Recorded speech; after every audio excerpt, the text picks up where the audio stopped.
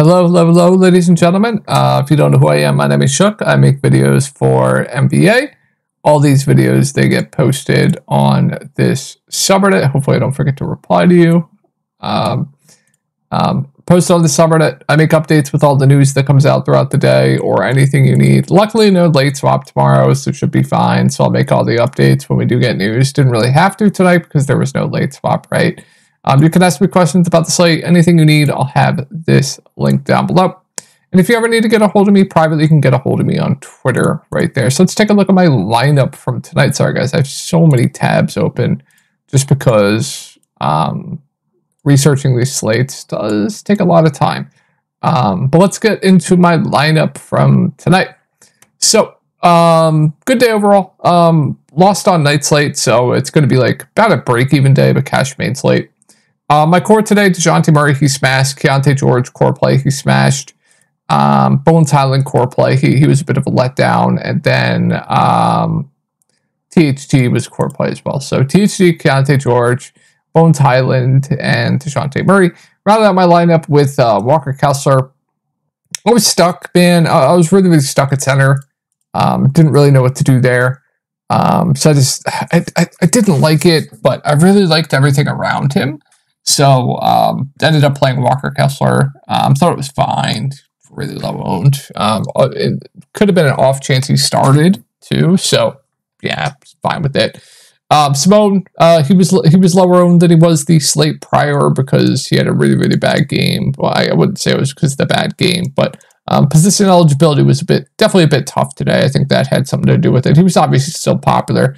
Um, but I, I, went right back. Um, he shot the ball just really, really bad. Um, finally had a good shooting game tonight, so that was great. Paul George, Clippers were low owned, didn't really understand that. He smashed, loved that. And then um, obviously I had uh, Sexton. So uh, yeah, uh, break even day because I didn't cash on night slate, but did cash on the main slate. And if you're looking for more in depth content, DFS content, prize picks content, sportsbook content, um, I'll have my Discord link down below. We, we, we had a really good night in Discord tonight. We also had good days on prize picks. Um, so this was uh, the slip that we did, correlation slip. Jokic just doesn't play the fourth quarter um, to chalk the six man. So a uh, bit unfortunate there. But let's get into the slate. Brooklyn and Indiana. So with this team fully healthy, it's going to be downgrades to pretty much everyone. But there's a guy I do like here in GPPs, and that's Cam Thomas. Um, right now, they're kind of running him into the ground. 39 minutes last game. We know he's a guy that has a ceiling. It's a fast-paced matchup going up against the Pacers. So I do like Cam Thomas quite a bit for GPPs. I honestly think I prefer him to Mik- Mikal Bridges right now. Um, I, I, still think Mikal's solid just because the matchup's so good. The pace should be up. So I do like both the top two guys here, Mikal and Cam Thomas. Like I said, I think I give the edge to Cam Thomas right now. Claxton at 6.8K, just there for me. You know, Day'Ron Sharpe does take a hit in his minutes slightly. He should still play around 30. He still has a ceiling, but uh, more of a contrarian play for me now. It doesn't make him out of play, but um, I haven't even looked at the center list on this slate. You have Vooch, who I absolutely love. Miles Turner, his minutes have kind of kind of been up of late, but yeah, center looks pretty weak on this slate. So yeah, I don't mind Claxton. I think Vooch is probably going to be Giga Chalk tomorrow, which I am fine with, perfectly okay with. Um, Dennis Schroeder at 6.3K, just there for me. He takes usage it with everyone back, but statue stuffer, very, very safe. I think he's priced right. Cam Johnson came off the bench last game. Don't think I'll be going there. I think Dorian Finney-Smith is priced right. So yeah, pretty unappealing team outside of the top two guys. I'm, I'm definitely pretty high on Cam Thomas in GPPs, and I think Mikal is solid. Moving on to the Pacers. So Halliburton, I mean, he's been continuing to play close to 40 minutes. Just the production has not been up to his earlier season standards. He's going unowned every single slate because that. So, I mean, um, if you want to play, sorry, I was reading my mail. If you want to play with low ownership, I have no issue with it. One game, he's probably going to drop like a 2020 game, just absolutely nuke the slate at no ownership. It's just not the best matchup here going up against the Brooklyn Nets. The pace, Brooklyn, they play slow as well. So, like, um, as far as spend let's you know, SGA going up against Memphis, I think is good. Possibly Steph Curry up against the Lakers. Outside of that, I mean, there's not much. I mean, I like AD quite a bit. I think AD is one of the best spend ups on the slate. You have a lot of good mid range, but yeah, I think Hali's firmly, firmly in play. Siakam might be a bit more optimal, a bit easier to get to at that price point. Nice eligibility as well. He's been turning it on of late. Nice to see his minutes up of late. Earlier, he was only playing like low 30s minutes.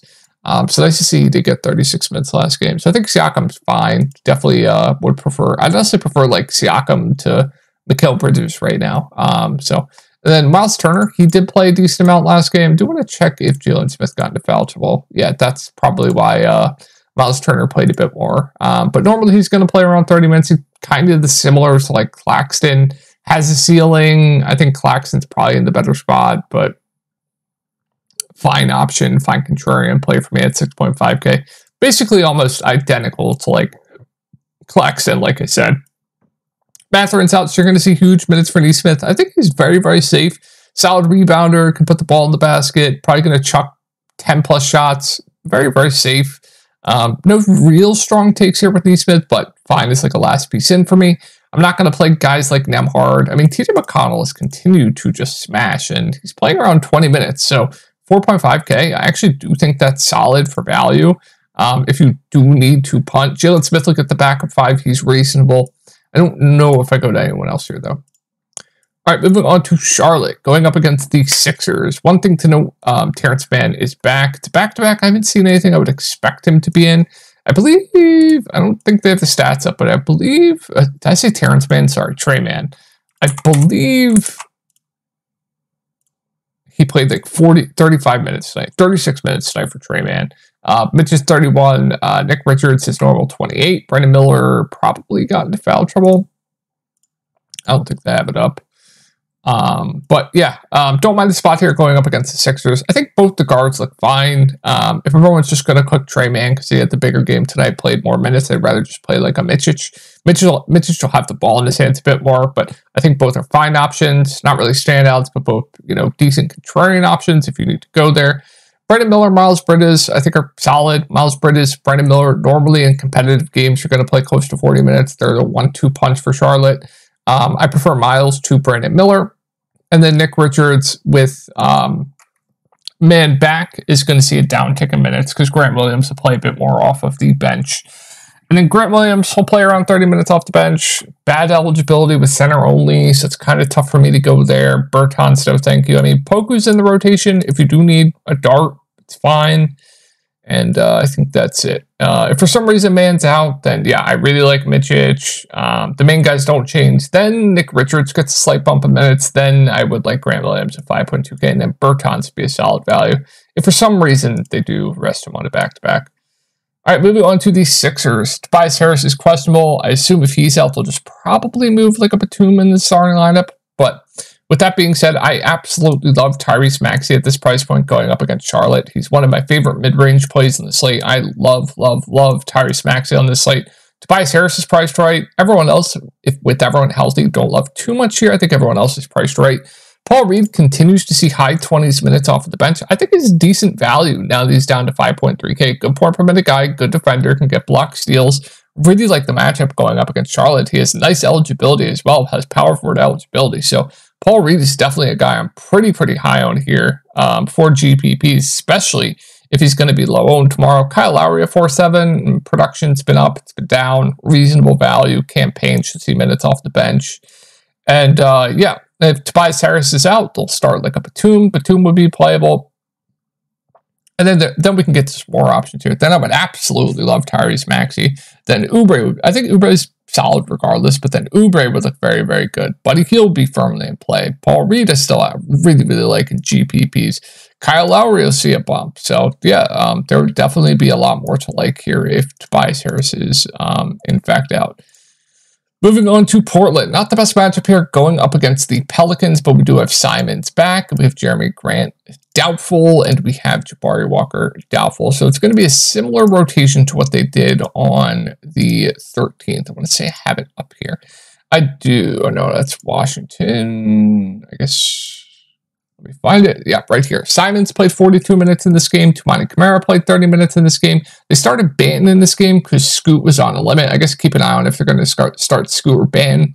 Ayton's playing huge, huge minutes, and then Kris Murray um, continues to start, continues to play around 30 minutes. So, with that being said, I mean, if you want to play, Ayton, I'm not going to say no. He's been on an absolute another level of late. He's been playing 40 minutes a game um, going up against the likes of like Jonas Valanciunas, Larry Nance, I don't mind the spot. So yeah, I'm not going to say no. Like Vucevic is probably going to be one of the most popular center plays on the slate. If you want to pivot in GPPs, I think that's completely fine. Simons, I like quite a bit. Now, not the best matchup here going up against the Pelicans, but pretty much has the entire team to himself with Jerami Grant out. In competitive games, he's going to play close to 40 minutes. Just very, very, very, very safe. Now, if they do start Scoot and he's not on a limit, I actually like him. If they start like a band, you can go to band. But with like all three guards healthy, it's definitely a downgrade to uh, both Scoot and band. But keep an eye on the starting lineup. And then Camara, Kris Murray, they're both playable. Um, for some reason, they're dusting off Ashton Hagans over Scoot. I, I don't understand that. Moving on to the Pelicans. One thing to note here is Jonas Valanciunas' minutes have been on a downtrend of late. They're playing a lot more Larry Nance. So, I mean, if you continue to see a bit more Larry Nance, I do think he's a solid value of 4.1K. He played a decent chunk tonight, I want to say. But if you think for some reason Jonas Valanciunas gets his like 20 plus minutes, he could absolutely nuke the slate at this price point. So, um, I think Nance is probably a bit better just because he's cheaper. He's playing more minutes right now. But if you think Jonas for some reason or like Larry Nance gets into foul trouble and Jonas gets extended, one of these guys is probably going to smash tomorrow in this matchup up against Portland. Just such a good spot for bigs. So um, I think they're both firmly, firmly in play. I think Nance is a bit better point per dollar, though, a bit safer, been playing more of late. And then I like all three of the main guys CJ McCollum, Brandon Ingram, Zion uh, Williamson. As long as Portland keeps this game competitive, probably two or three of these guys is probably going to have a really big game. I believe CJ had a pretty big game tonight. I know Zion did. Um, but yeah, I think all three look like solid options. Trey Murphy's overpriced. Herb Jones, no thank you. And yeah, I'm intrigued by both the bigs here. Naji Marshall, see run off the bench, but I don't think I will go there.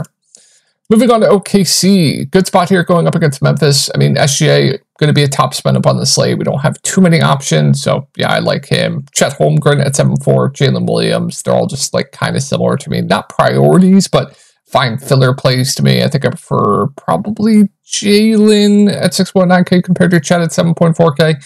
Giddey at 5'8 is priced right. She'll play low 20s minutes. He does have a ceiling. I mean, his production this year has been really, really solid, but the minutes upside just isn't really there. Lu Dort's playable. I don't know if I go to much else, though. I don't think I can click on any of that bench value. All right, looks like Desmond Bane is going to be back. So, like, it, it's I'm so thankful. It just hurts everyone. It basically makes this team kind of disgusting for me. I would expect Bane, he could come off the bench. I guess he's been out for so long, some type of limit. I, would imagine he would be on some type of limit and probably, I guess, could come off the bench. I, I really don't know. Um, but just keep an eye on it, I guess. If they start, if they continue to start like a Pippen, um, sure. Um, keep an eye on the inactives. They're they're trolling with the inactives. Some games people will be active. Some games others will be inactive. So like keep an eye on that. If they start like a Pippen, you can go there. With Bane back, it hurts Vince. It hurts Jaren. It hurts pretty much everyone. It's like it's really tough to say right now. I will make updates on Reddit, but yeah, very very unappealing with uh, Desmond Bane back.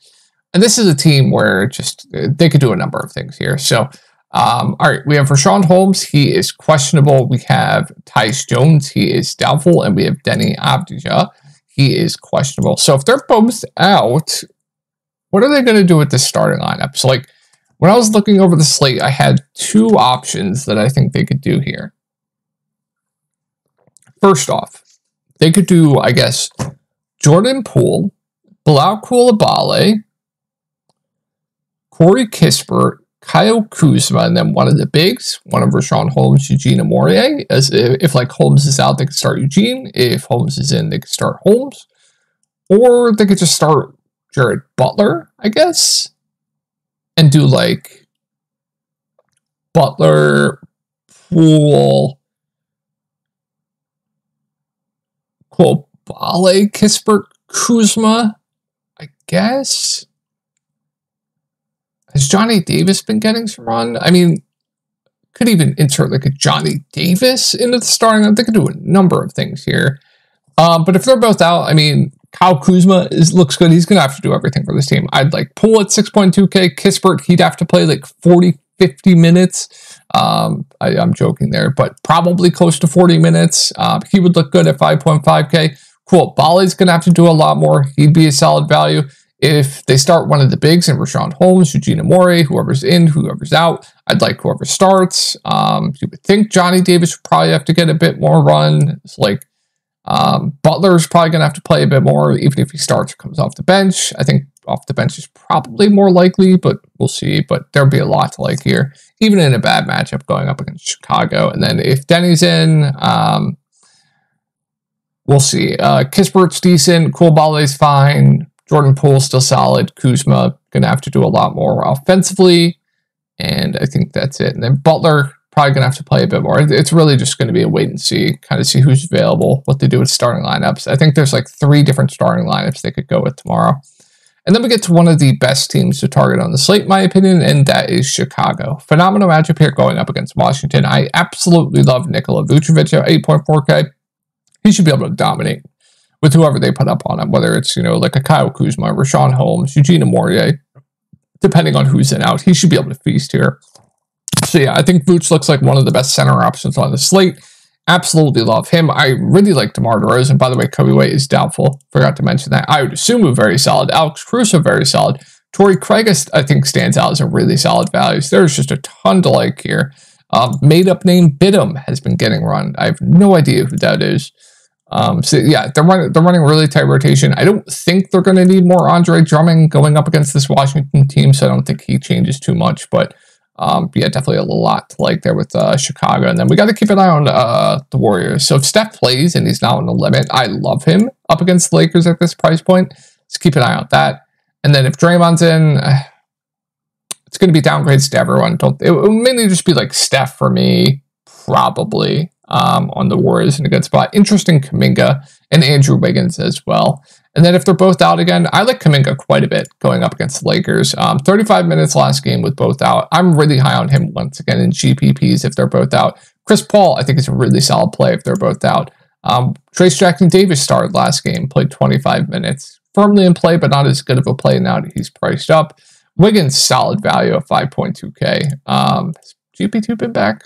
I guess I didn't notice that. But yeah, it would be a good amount to like here if they're both out in this good spot going up against the Lakers. And then if they're both in, like I said, I'd like Steph quite a bit as long as he's not on the limit. Still interesting Kuminga. Chris Paul would be priced right. Draymond would be overpriced. Clay would be overpriced. Pods would be overpriced.